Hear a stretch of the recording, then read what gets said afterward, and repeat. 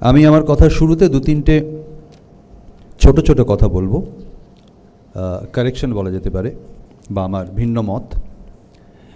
হ্যাঁ অরুণাভদা যে কথাটা বললেন যে গরিবদের পয়সা দিয়ে কেনার ব্যাপারটা আমি দ্বিমত পোষণ করছি। আমি মনে করি না যে গরিব মানুষদের পয়সা দিয়ে কেনা যায়, বরং সেই লাইনটা সবাইকে মনে করতে বলব। এ জগতে হায় সেই বেশি চায়, আছে যার ভুরি ভুরি। রাজার হস্ত করে সমস্ত কাঙালের ধন চুরি আসলে যে মানুষগুলো দুবেলা পেটের ভাত নেই, একটু আরামের ঘর নেই ছেলেমেয়ের চাকরি নেই, তার কাছে পাঁচশো টাকাটা পাঁচশো টাকা নয়, পাঁচ লাখ টাকা। আসলে আমাদের দেশকে লুট করেছে তারা, যাদের প্রচুর আছে। আপনি আপনি সংখ্যা চাইলে আমি নাম, সংখ্যা বলে দেব, এবং তারা ঘটনাচক্রে ভারতবর্ষের অনেকের নামজাদা শিক্ষা প্রতিষ্ঠান থেকে পড়াশোনা করে বড় হয়েছে, তারা দেশকে লুট করেছে, গরিব মানুষ লুট করেনি। আপনি ওই গরিব মানুষদের একদিন আপনার মতো একই অবস্থানে রাখুন পেটের ভাত দিন, বস্ত্র দিন, স্বাস্থ্য দিন, শিক্ষা দিন, চাকরি দিন। তারপর পাঁচশো টাকা অফার করুন, দেখুন আপনার টাকা সে নেয় কি না তাই আমি এই মতের সঙ্গে দ্বিমত পোষণ করি। দ্বিতীয় কথা রাজনীতি প্রসঙ্গে রাহুল কোনো রাজনৈতিক দলে আছে বলে আমার জানা নেই। আমি যতদূর জানি ওকে। আমি ব্যক্তিগতভাবে কোনো রাজনৈতিক দলের সমর্থক নই। একজন অভিনেতা বা একজন শিল্পী তিনি রাজনীতি নিয়ে কথা বলতে পারবেন না, সমাজনীতি নিয়ে ভাবতে পারবেন না। এরম কোনো কথা পৃথিবীর কোথাও কোনো বইতে লেখা আছে বলে বা জানা নেই। আমি রাজনীতি সচেতন মানুষ, কিন্তু কোনো দলের কোনো দলের কোনো দিন কোনো অ্যাক্টিভ পার্টিসিপেশন আমার ছিল না আজকেও নেই। তাই অরূপদার সঙ্গে ব্যক্তিগত আমার কোনো বিরোধ নেই, কারণ আমার ক্ষমতায় বসার কোনো লড়াই নেই। আমার প্রশ্ন হচ্ছে, আমি সঞ্চালক শুরুতে ঠিক যে বিষয়টা নিয়ে শুরু করলেন সদ ইচ্ছা এই যে হিংসাকে কি জয় করা, থামানোর যাবে? আমার প্রশ্ন সদ ইচ্ছা নিয়ে। দেখুন, একটা ফুটবল টিম যখন আপ্রাণ লড়ে হেরে যায়, জিততে পারে না, তখন তাদের জন্য আমাদের সিম্প্যাথি হয়, মায়া হয়। কিন্তু যে টিমটার, যে তার সদিচ্ছা থাকে না, তারা হেরে গেলে মায়া হয় না, রাগ হয়। এই সদিচ্ছাটা বুঝতে গেলে আমাদের একটু আগে যেতে হবে। ইতিহাস অনেকেই এখানে বলেছেন, অরূপদা আমার ব্যক্তিগতভাবে খুব প্রিয় বক্তা, অসম্ভব ভালো বলেন। তাই ইতিহাস থেকেই একটু আমি শুরু করব। দেখুন, সরকার একটা চলমান একটা একটা প্রসেস দল আসবে, দল যাবে, নেতা, মন্ত্রী আসবে, মন্ত্রী যাবে, কিন্তু সরকার এগোতে থাকবে। স্বাধীনতার পর যখন দেশ স্বাধীন হলো, নির্বাচন হলো, কংগ্রেস এলো, অনেক কিছু মৌলিক কাজ হলো। খনি, ব্যাংক, বিমা সরকার অধিগ্রহণ করল, পঞ্চবার্ষিকী পরিকল্পনা হলো, রাস্তাঘাট, কলকারখানা তৈরি হতে শুরু করল। আমি খুব বিস্তারিত আলোচনায় যাচ্ছি না। পশ্চিমবঙ্গেও অনেক কিছু হলো। বামপন্থীরা এলো। তারা আবার আরেকটা প্রস্তুত শুরু করল। হলদিয়া পেট্রোকেমিক্যাল হলো, বক্রেশ্বর হলো, রাজারহাট হলো, যুব ভারত স্টেডিয়াম হলো, জেলায় জেলায় রবীন্দ্র ভবন হলো, সুন্দরবন অঞ্চলে ব্রিজ তৈরি হলো। আবার তারপরে একটা সরকার আসবে।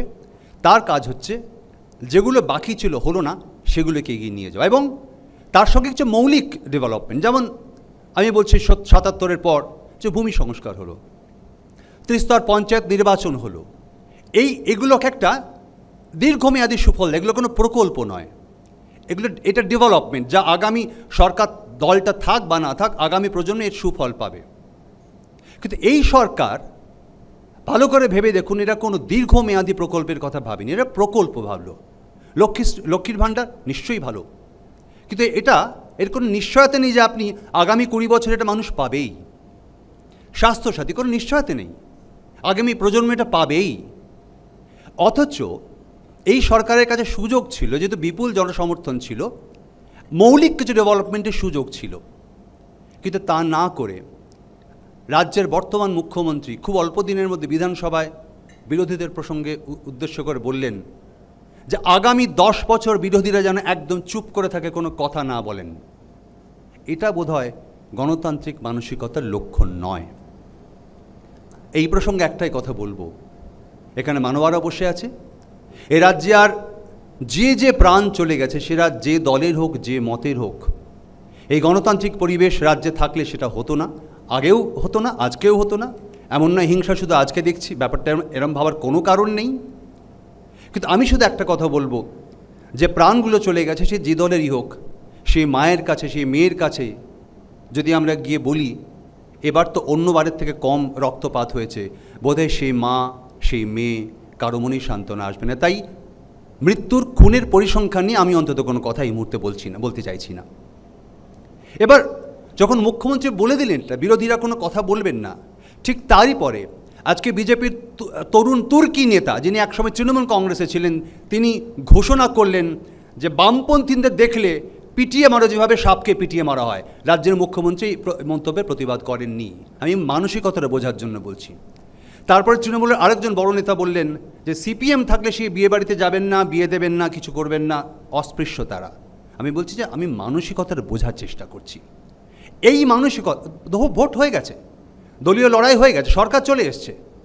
তারপর যদি কোনো রাজ্যের মুখ্যমন্ত্রী এই মানসিকতা পোষণ করেন, তাহলে আর যাই হোক, তার মানসিকতার মধ্যে কোনো গণতান্ত্রিকতা আছে বলে আমি অন্তত মনে করি না।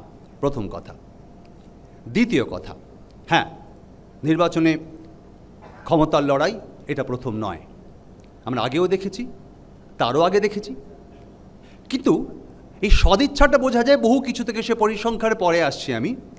তার আগে যেটা বলব যে আগে এই ক্ষমতা দখলের লড়াই নিশ্চয়ই ছিল। বাট ক্ষমতা দখলটা ওই পঞ্চায়েতের টাকাটা নিজের পকেটে ঢোকানোর জন্য ছিল না, এটা বোধহয় আজকে সবাই মেনে নিয়েছেন এই কারণে। কারণ যারা আজকে ক্ষমতা থেকে সরে গেছে, বারো, চোদ্দ, বারো বছর হয়ে গেল, তারা যদি জেলায় জেলায়, গ্রামে গ্রামে পঞ্চায়েতের টাকা পকেটে পড়তেন, তাহলে প্রত্যেকের রাস্তায় চোর চোর শুনতে হতো, কেউ রাস্তায় বেরোতে পারতেন না। এই বারো বছর পার করে রাজ্য আয়ুক্ত তাদের সেই কথাটা শুনতে হয় না। তাই নিশ্চয়ই ক্ষমতা দখলের লড়াই ছিল, ক্ষমতা টিকিয়ে রাখার লড়াই ছিল, কিন্তু সেটা নিজের পকেট ভরার জন্য নয়। কোথা থেকে টাকা লুট হয়নি? কোন ক্ষেত্রটা বাদ গেছে?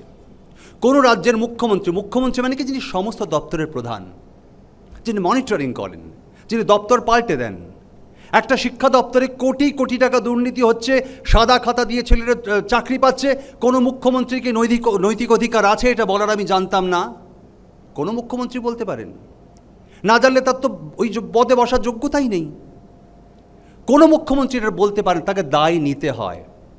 আমাদের মুখ্যমন্ত্রী ওই যে ক্যামেরার সামনে টাকার কথা বললেন, ওই দৃশ্য দেখার পর বলেছিলেন, আগে জানলে ভোটে তাদের টিকিট দিতাম না, তাদেরকেই টিকিট দিয়েছিলেন।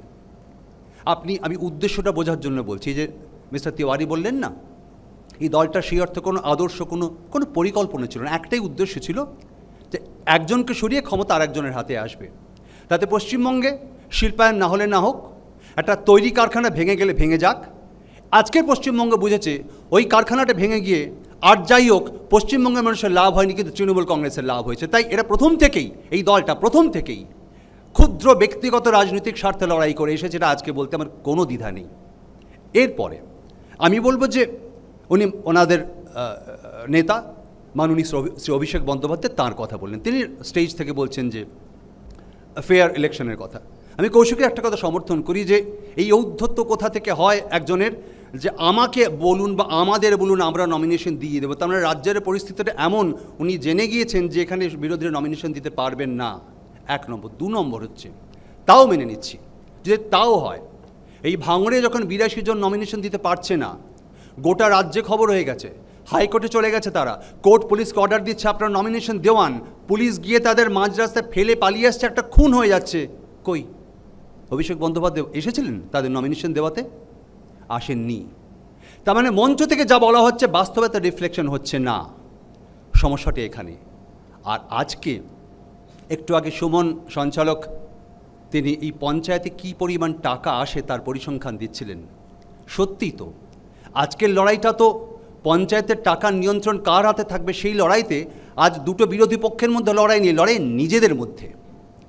ওই একই দলের দুটো গোষ্ঠী, যুবা, মাদার, আমরা জানি না মানে জনগণ বলছেন, সংবাদ মাধ্যম বলছেন এবং রাজনৈতিক কর্মীরা বলছেন এবং তৃণমূল কংগ্রেসের কর্মীরা অভিযোগ করছেন যে টিকিট নেওয়া হচ্ছে, টাকা দিয়ে দেওয়া হচ্ছে। এটা আমার বক্তব্য নয়। এই অবস্থায় দাঁড়িয়ে কোনো রাজনৈতিক দলের সদিচ্ছা থাকতে পারে, তার সঙ্গে ইলেকশন কমিশন তার ক্ষমতা, সুযোগ থাকা সত্ত্বেও তিনি পর্যাপ্ত পরিমাণ কেন্দ্রীয় বাহিনী ব্যবহার করবেন না। আমরা দেখেছি মীরা পাণ্ডেকে, যিনি দু হাজার সেন্ট্রাল ফোর্স ইউজ করেছেন, ওই ওই মীরা পাণ্ডে তিনি দু হাজার নয়ে কলকাতা পুরসভা নির্বাচনে তখন বামপন্থী সরকারে ছিল সেন্ট্রাল ফোর্স ব্যবহার করেছিলেন, তখন বামপন্থীরা কোর্টে যায়নি সে আটকাবার জন্য। তারপরে বলব যে ব্যক্তিগত পুঁজি বাড়াবার জন্য যদি কোনো কোনো মানুষ, কোনো কোনো ব্যক্তি পদ টিকিয়ে রাখতে চায়, তাহলে যে কোনো মূল্যে হিংসা সেখানে কোনো ব্যাপার নেই, যে কোনো মূল্যে সেটা করবে।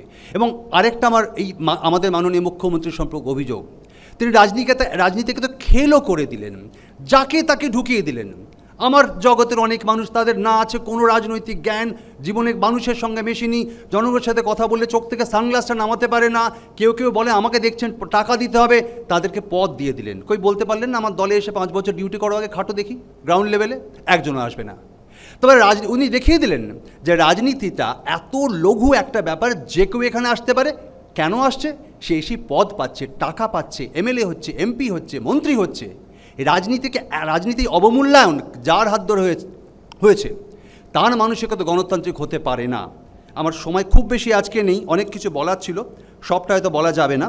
আমি শুধু আমি শুধু শেষে একটা কথা বলব, যে হ্যাঁ এবারের পরিবেশটা আগের মতো নেই।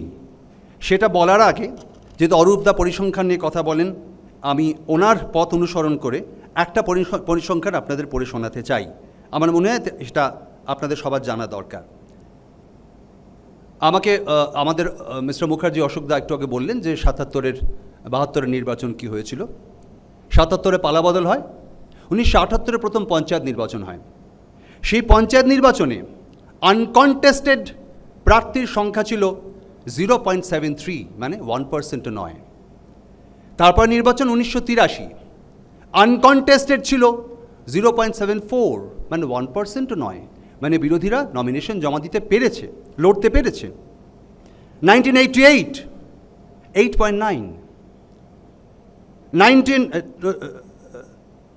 two thousand three eleven percent two thousand eight five point five seven percent এই পরিমাণ আনকন্টেস্ট আনকন্টেস্টেড সিট ছিল।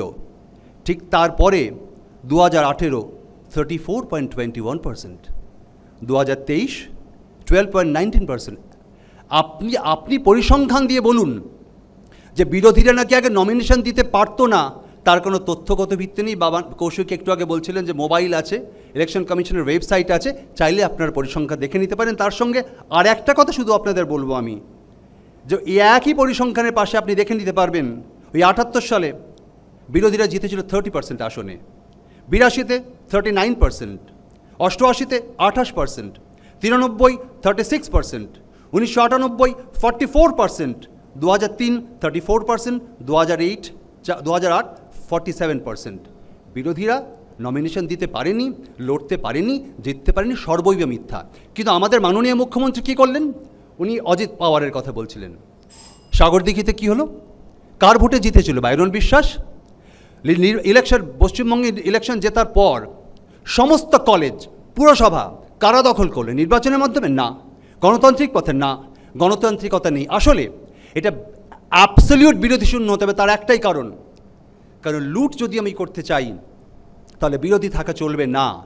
বিরোধীরা প্রতিবাদ করবে। তাই শুধু ক্ষমতায় থাকলে হবে না, বিরোধী শূন্য করে ক্ষমতায় থাকতে হবে। কিন্তু হ্যাঁ আমি একটা কথা শুধু বলছি যে দু হাজার আঠেরোর পরিস্থিতি আজকে নেই। তার কারণ কি জানেন?